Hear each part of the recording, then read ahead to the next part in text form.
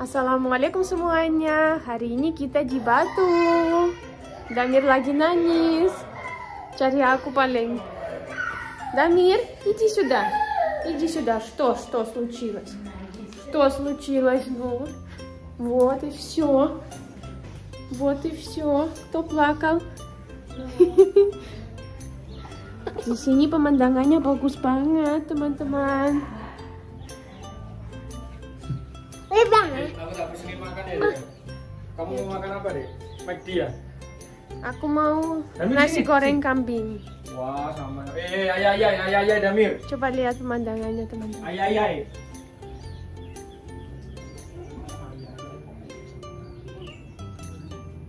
Oke, Damir belum pakai sandal. Где сандальки у Дамира? А?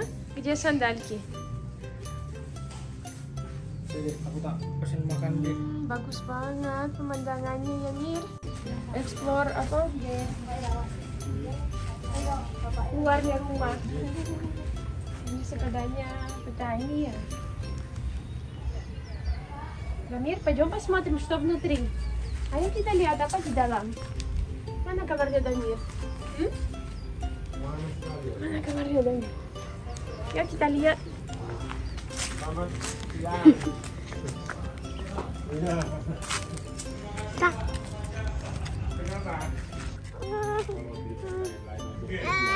Пойдем посмотрим. Сос, Дамир синий корона. И один Дамир. Италия, комар, комар. Дамир пойдет смотреть комнату. Да. Ага, не комар, не мама, сам папа.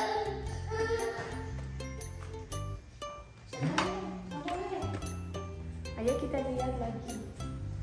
Ini kamarnya Damir ini kamarnya Damir ya. Lucu ya Bunda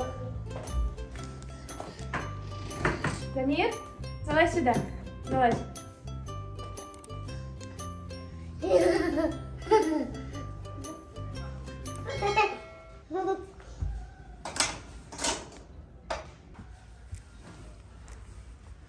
Классно здесь, да? Классно? Да. Дамиру нравится здесь? Да. Классно.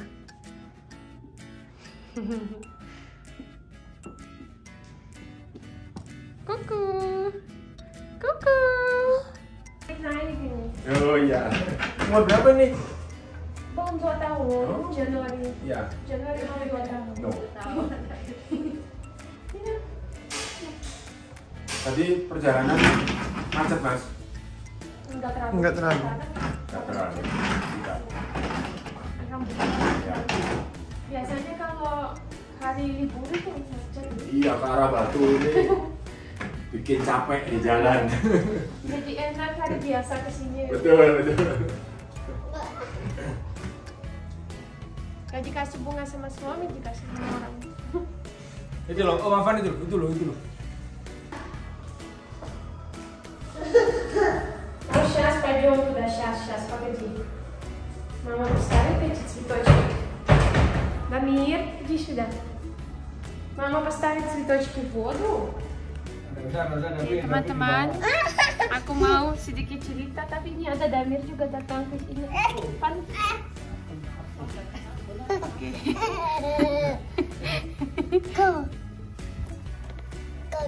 Udah pesen dah memang makanan.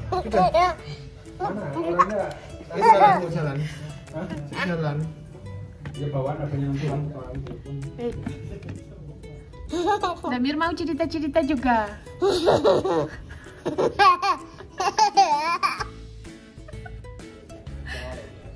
Teman-teman, cuacanya di Batu enak banget. Nafasnya enak banget juga dan aku suka banget sama suasananya. Bisa lihat sendiri ya. Oh, bagus banget. Dan hari ini aku mau bicara sama kalian tentang pertanyaan kalian yang sering muncul di komentarnya aku, di komennya aku. Jadi uh, kalian sering nanya, Mbak Uli sebelum nikah itu Muslim apa bukan? Apa aku dari keluarga Muslim apa bukan? Jadi gini teman-teman, uh, aslinya aku dari keluarga Kristen. Jadi aku mualaf. Tapi aku mualaf sebelum nikah. Mungkin sekitar dua tahun sebelum nikah aku sudah mualaf. Dan um, gimana ceritanya ya aku jadi mualaf? Jadi pas aku sudah di Indonesia aku tinggal di asrama. Dan teman-temanku kebanyakan semuanya itu muslim. Dan uh, kita aku memang uh, suka sama budaya modis dan uh, aku juga uh, aku juga pas jalan-jalan sebenarnya sudah pakai hijab cuma aku pakainya seperti bandana jadi um, pas aku jalan-jalan kepala aku kepanasan dan uh, aku minta temanku dipasangin hijab. Ternyata bandana aku tuh bisa dibikin hijab dan akhirnya aku pakai dan uh, awalnya itu aku merasa nyaman banget. Seperti um, apa ya rasanya tuh beda kalau pakai hijab sama nggak pakai dan uh, pas itu ya aku masih nggak paham kenapa kok aku rasanya itu kok beda gitu. Dan lama-lama uh, aku mulai berhijab karena aku cuma nyaman aku nggak tahu tentang agama. Sebenarnya kan Kristen ya cuma nggak terlalu belajar juga tentang agamanya. Jadi aku cuma merasa nyaman terus sama temanku aku sedikit-sedikit aku nanya mereka tentang Islam. Karena uh, aku pernah nanya Uli sebenarnya agama apa? Kenapa kau pakai hijab? gitu. Jadi aku mulai penasaran tentang agamanya Islam. Dan uh, akhirnya aku tahu yang konsep uh, konsep tentang uh, ten tentang Yesus tentang Prophet Muhammad dan aku mikir itu memang logik gitu konsep-konsep Islam itu memang logik, prinsip-prinsipnya juga. Dan um, sebenarnya ceritanya itu pas aku ke Indonesia ya, aku uh, sudah nggak pernah minum alkohol selama aku di Indonesia. Dan aku merasa seperti kayak aku itu nggak butuh memang karena itu kan kayak bikin kita bahagia sebentar ya dan bikin nagih. Jadi kepengen terus. Tapi kalau kita nggak minum dan kita ya seperti jaga gitu ya uh, kita sebenarnya nggak pengen kalau kita bisa bahagia dari dari lain. Seperti kita belajar Al-Quran, kita ngaji, kita ketemu sama teman-teman, kita bah bisa bahagia dari itu. Nggak harus seperti minum alkohol dan lain-lain. Gitu dan karena prinsip-prinsipnya Islam itu menurutku dekat sama aku aku tahu seperti aku sudah mikir sebelumnya seperti gitu cuma aku nggak tahu kalau itu Islam dan dulu juga aku tinggalnya sama nenekku dan uh, sama nenekku itu memang pendidikannya lumayan apa ya seperti aku nggak boleh malam keluar uh, ya nggak terlalu bebas gitu. Jadi um, aku diajarin prinsip-prinsip itu memang mirip banget sama prinsip-prinsip Islam. Jadi pas uh, aku belajar dan pas aku belajar juga aku belajar naji aku belajar sholat aku um, temanku merasa ya aku merasa oh ya aku cocok sama agama Islam. Aku bisa jadi muslim. Dan temanku bilang Uli kalau kamu bilang syahadat kamu bisa um, jadi uh, sholatmu itu bisa keterima. Gitu. Akhirnya aku aku make decision ya aku make decision um, untuk bilang syahadat sama teman-temanku asrama. Dan um, pas aku bilang syahadat teman-temanku semuanya nangis. Dan ya mereka seperti bahagia gitu ya. Dan sekarang kalau aku sudah tahu ada yang temanku yang masuk Islam seumpamanya ada meskipun bukan temanku ya tapi ada orang yang uh, sebelumnya agama beda ya tapi dia keputusan ambil keputusan untuk masuk Islam aku juga pengen nangis. Seperti aku itu sekarang paham kenapa temanku sebelumnya nangis gitu. Dan uh, jendelaku buka tutup. Dari tadi tapi aku aku tahan. Ini seperti kayak mau. Dan uh, kalau kalian mungkin ada yang nanya ya bagaimana reaksinya orang tuanya? Aku tentang aku masuk Islam. Jadi uh, gini ya teman-teman. Kalau keluarga aku ayahku itu punya teman banyak teman yang muslim. Jadi uh, seperti dia itu paham kalau uh, Islam itu memang ada yang bagusnya. Seperti orang muslim itu puasa. Dan um, seperti biar uh, kita itu naikin ilmunya kita biar kita uh, bisa lebih dekat sama Allah.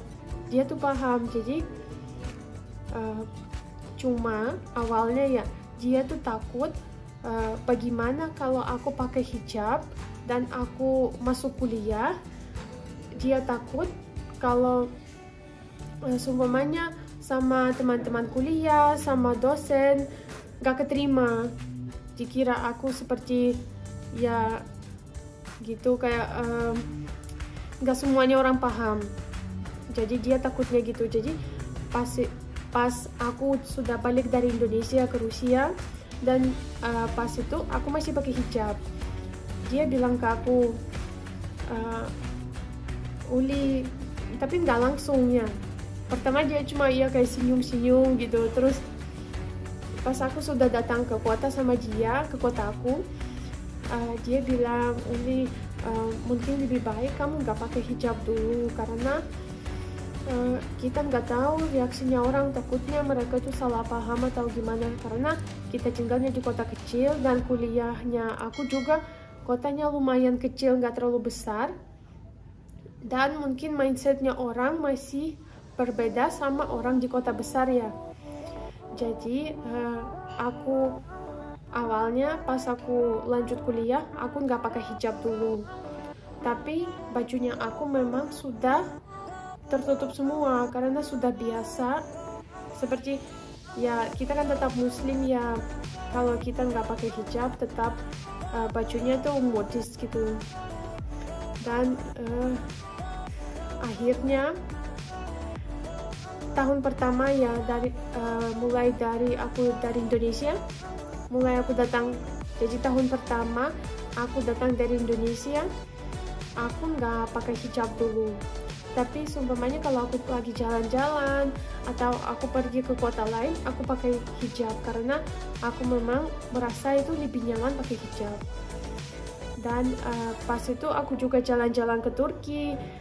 Dan kenapa kok aku jalan-jalan ke Turki ya aku jalan-jalan sendiri karena aku memang pengen lebih dekat sama Allah lagi. Karena di kota aku cuma satu masjid dan kebanyakan itu yang sholat cuma cowok-cowok aja. Aku pengen sholat di masjid aku datang ke Turki dan senang banget. Aku bisa sholat subuh sama orang muslim dan ibu-ibu muslim juga ibu-ibu Turki juga senang banget eh, dan kita kayak kenalan gitu dan uh, akhirnya satu tahun pertama ya aku nggak pakai hijab.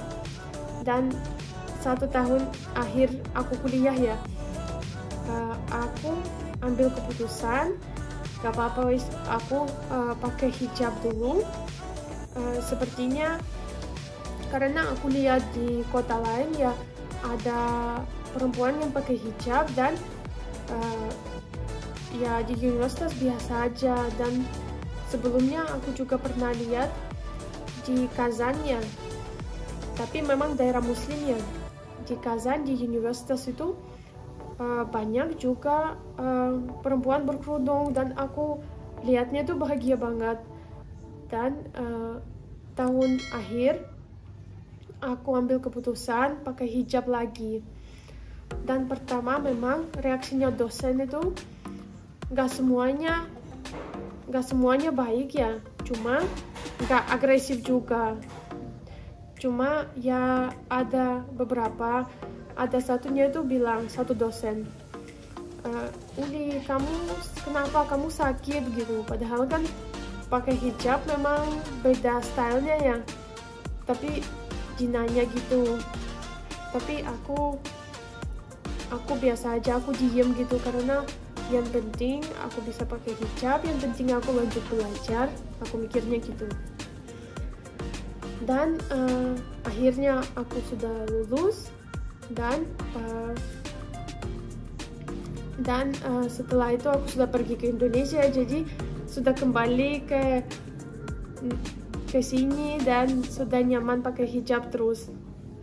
Menurut aku memang uh, ya aku juga merasa ya sebelumnya ya kalau pas awalnya kan dosen-dosen tuh nggak terima aku pakai hijab ya. Tapi uh, lama-lama uh, aku merasa orang itu agak ya seperti menghormat ke aku. Dan pas aku pas itu ya aku juga uh, kerja seperti um, aku kerja seperti uh, ya guru bahasa Inggris tapi ya part time job gitu. Dan uh, pas pertama aku mulai pakai hijab aku bilang ke uh, ibunya ibunya anaknya yang aku belajar aku wajarin.